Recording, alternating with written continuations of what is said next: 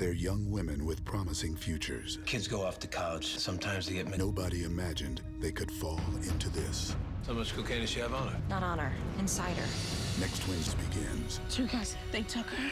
But what they find could blow everything wide open.